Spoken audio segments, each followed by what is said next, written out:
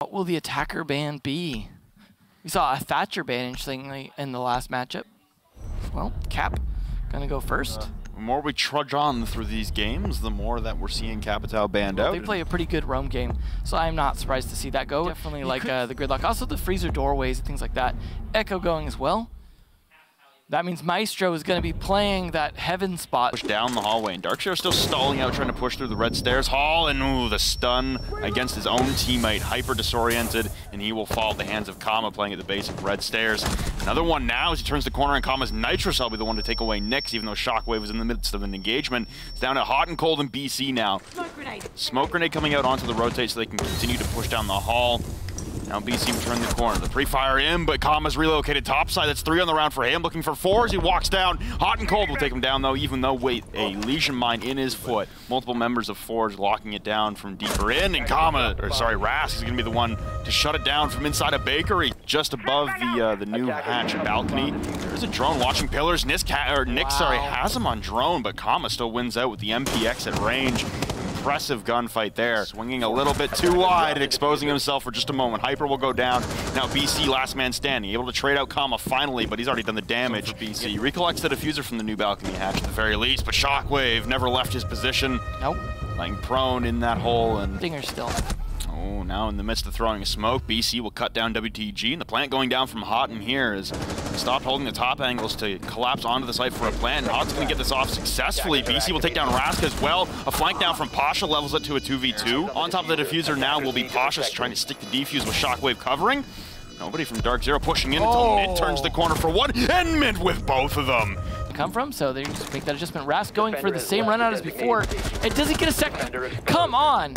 Much much later into the round this time, but that's two down. For another rotation back towards Bakery, and Rask is going to end that fight quickly. Hot on 1 HP. Nyx now in the grave, down, but Dark Zero, zero entry. Wow. WTG shuts them both down. And now it's a 1 HP Hot and Cold floundering outside the north side of the building, left alive. I don't know if Rask is going to go for the long run out on that one, but pushing in past the coat closet, Kama is going to lock that one down. It's a flawless round for forZe here on the defense in the basement. They're trying to stall him out with the uh, gridlock tracks, but the smoke not actually giving full coverage, so Rask is easily able to hit that shot on the Nyx. Kama following it up as well. It's all on BC and Hotton, who's low on health trying to push through, dropping the skylight, and that's going to go nowhere again. Hutton on 10 HP, and Pasha will shut it down. Trying to ping them for his teammates as well, but Nyx takes down Rask. Kama, and trades two, actually, onto Hot Cold Nyx, and Shockwave a third. It's just BC alone now in the 1v4, twisting in the middle of the reading hallway. WTG takes the angle, turns the corner, BC falls, and Dark Zero now at a 5-1 deficit early here on Cafe smokes in the process. Now another smoke will hit Pasha directly in the, face. Now crouching, walking up the bar. Rask will get one before his teammate is traded out. Another one for Hyper now. Dark Zero in the driver's seat on this round. Possibly for the first time really this entire game evading the Lesion Mines. Two members for Dark Zero stacked on white stairs. The phone calls will come out, and Hyper continues to decapitate every Russian member on this board. Shockwave last man standing now is the Dokkaebi with 10 seconds left, and Hyper goes massive on the Alda. Dark Zero get one back under their belts, and still a three-round deficit, but like I said, one round at a time. Yeah. Well, this is definitely much more doable now that they're on defense. Don't do it, much damage to him at all, and in the meantime, WTG takes down Mint. Good kill onto the Mozzie. It's a war on two fronts here as half of forZe trying to go for the push onto the site and the other half are trying to clear across the top floor of Cocktail, but two deaths on the side of Dark Zero gives forZe a massive advantage. They try to condense back onto the objective. Hot and Cold outside in Pillars, giving the call to a man inside of Mining. Hit Nyx will turn the corner, but whiff on the gunfight. WTG will shut him down, down to a 2v5. Hot has the possibility to lock it down from outside, but Rask vaulting on him up above. Assassin's Creeding Hot and straight out of the server.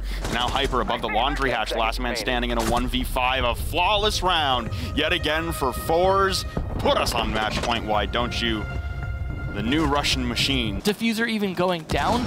Trying to cover Freezer. Oh no, he looks up just the wrong moment, but you know what? He doesn't get punished for it. Hot Cold does punish one. Now he gets punished. Defuser is planted in a 2v3 now. Oh, wow. Good shots there from Hot and Cold to go for the flank through Bakery. Now it's just Pasha alone outside the mining window, decapitates Mint and has visibility on the Defuser from above from multiple angles. This is the hole that BC made with his impact. Could it be his own teammates being their demise. Has a punch hole towards the wooden barricade. He's going to spot out one, but the defuse still going down from BC. Pasha unaware. One second left. All he has to do is hit the hand. Pasha! The 1v3 clutch! And forZe take map number one. What a play. Pasha with the 10,000 IQ. forZe also has a pretty good clubhouse, and it didn't matter if they had a good cafe from Dark Zero because they seem to just get run over regardless. So uh, he was just hiding it at first, gonna find the blue position, but Hyper fighting two with the C4, and that is uh, the Habana gun. Not sure if all the hatches were finished off. They do have a thermite to be able to dump, but no, the kitchen hatch still solid. So that's a great pick. DZ though going down in the process, uh, but not all the way. Nyx finishing off Shockwave. So WTG cannot finish the job yet, but a sneaky play here by Kama, finishing off Nyx and almost getting a second. Little peekaboo game here, and WTG actually wins it. Good team play. Wow, this is coming back into a 2v2 now. 20 seconds left, and the drone reestablished where his position is. Someone's gonna have to turn the corner and take the aggressive stance, but Mint on the flank through blue will take down one. Will he go back again? Kama's gonna read that. He's gonna down off Mint, now down to 10 seconds left, and Hyper still under the kitchen hatch. Throws the drone as a bait, knows he's still there. Kama does not have the health advantage, and the pre-fire's not enough. Hyper stands pat underneath the kitchen hatch, and that's Dark Zero. Yeah, definitely Looks like forZe are very focused on. Wow, that was a play right there. The one wall that's soft completely taken advantage of. BC had no idea that was coming. He was busy trying to cover. It was all just about trying to stay here as long as possible, delay them. In the meantime, though, WTG taking down Hyper. It's all now down to a 2v5. This might be a flawless round for forZe. They have yet to take any damage here. Let's see how this fight goes. All right, going towards that flawless round. Still no damage. Mint has got the world against him now. Just holding off. Sounds like a nitro cell, and it won't be a flawless round as Mint gets one back in his column. But the plant going down now from Kama with coverage from both Pasha and Rask, and Pasha will be the one to close it out. Mint falls inside of cache. Bathroom wall's been opened up as well, and Houghton's going to take down Rask, but an immediate trade here for Kama as Houghton will fall. There goes the Kaid and the one-man advantage back in the favor of forZe. I've had so much gym control oh, for a no. while now, but this is going to be hyper all day if they try and enter in through gym. They didn't actually get that Valk Cam in there. They finally will. The plant going down for Kama now, and all Hyper has to do is launch a Nitro. Here it comes, soaring to the sky, but it doesn't what? connect. He pulled off the plant, but Nyx with a 3K now. Defuser on the ground. WTG holding still, and Dark Zero off the backs of Nyx and that UMP. Have no idea where these shots are coming from, but BC overextending, as is hot and cold, and suddenly such the advantage that Dark Zero had is disappearing and slipping through their fingers. Nyx pressing up, and now he's going to get in the way of Hyper, going for the rush out. Nyx pulls out the machine pistol, but cannot get the kill. The plant going down into the overtime now from Kama the last man standing is detected outside. Just poor execution on the plant denial there for Dark Zero, and they're going to drop around on Cash once again. forZe, bringing one back. Wow. It did not get caught. Well played. oh no, can't finish it.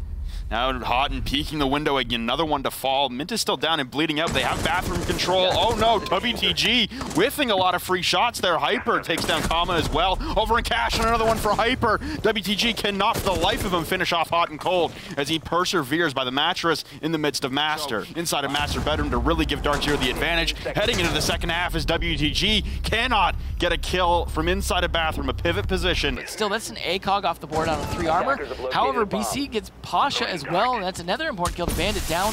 Not going to be tricking anything now.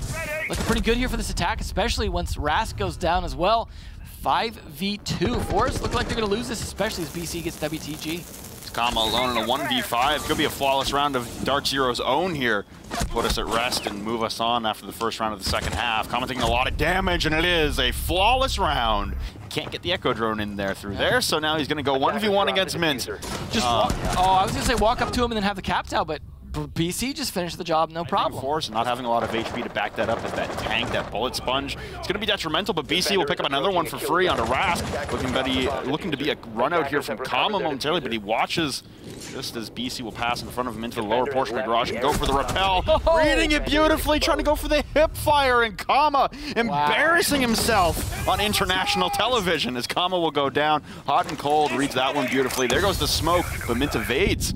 Not getting hit by a single portion of that. The Nitro will go up and it will not connect as no one's gone in for a plant on default just yet. Another beautiful shot there from BC. And again, flawless round after flawless round for Dark Zero. They continue the onslaught. And they now lead, looking to put this map away and take us all the way to Villa. No, not knowing that someone's on the main floor bathroom and there for Pasha being inside a strip. Oh no, BC's gonna drop right into the waiting arms of Kama and now coming back up. Blue Stairs is hot and cold, angling in for two. Mint inside of blue as well. The rest of the push here, a beautiful shot there from WTG. Downs and finishes off hot and cold. The shotgun to the feet of Mint on 2 HP, but being shot in the back now by Hyper. More shots ringing out through the wall and Mint with a pistol down to the 2v2 now. As he is so low in HP and does not want to leave Hyper in the 1v2, but that's exactly what it'll be now instead for Mint. Still Pasha darting and dancing around this stack of boxes, constantly confusing and disorienting Mitten as he goes for the ADS, Pasha will decapitate him. Be key to that, much like I was saying about Nyx on Clash. Pasha, though, has the opportunity to get... Oh, he gets it! Oh, now that puts forZe in a really good position here. Still have droning coming out from Hyper out on the balcony. BC will take down Rask, though, as he tries to push into the objective, carrying the defuser as well.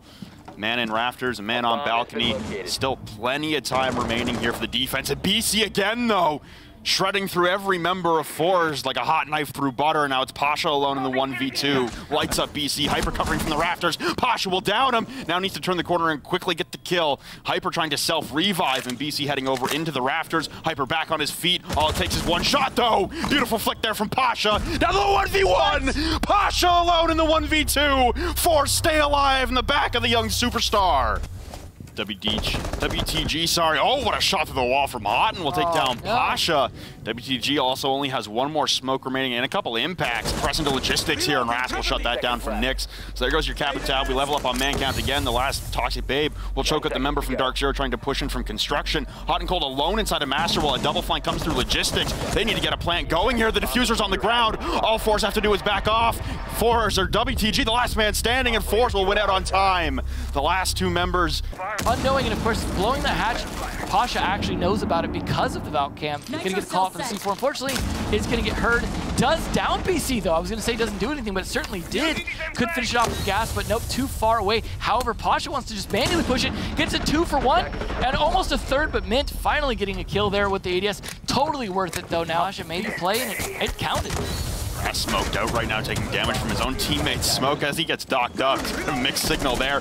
But the barrage into blue here coming from Dark Zero. Shockwave cuts down Nyx. Immediately traded out, but Hyper will fall. Mint last man standing whipping out the pistol in desperation. Or we're going to overtime. Going for the hip fire. Now the ADS will bring it down to a 1v2. But once again, 5 HP. WTG closes it out. It's four rounds in a row for forZe. We're going to overtime. forZe was looking so desperate at the beginning of this. He's going to throw that instead over to the wards. The blue hatch evades the stun beautifully on the sprint back, but Hyper will collect the first kill onto Pasha. WTG down and finished off by Mint as well, so things going awry early for forZe, but still a 3v5 to work out of. They have a couple of cogs to work with at long range. The smokes from Nyx now going to disorient and disrupt the vision of everyone else, and hitting the deck will be Shockwave to his immediate demise at the hands of BC. Turning the corner, it's a clean sweep for Dark Zero. The flawless round on the attack to put them back on match point on map number two to send us to Villa.